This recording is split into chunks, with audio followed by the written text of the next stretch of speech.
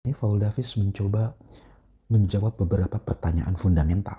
Pertama, mengapa alam semesta diciptakan? Kedua, mengapa terjadi hal-hal peristiwa di alam semesta ini?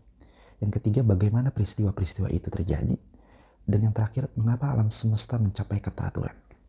Nah, terhadap pertanyaan-pertanyaan fundamental tersebut, Davis dengan metode fisika baru, yaitu menggunakan teori kuantum dan teori relativitas, berhasil menjawab secara radikal pertanyaan-pertanyaan fundamental tersebut.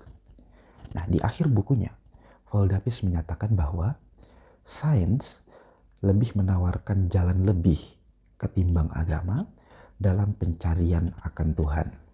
Hanya dengan memahami alam dalam segala aspeknya melalui kekuatan bidang dan partikel di samping melalui kebaikan dan kejahatan, kita dapat memahami diri kita dan makna di balik alam semesta.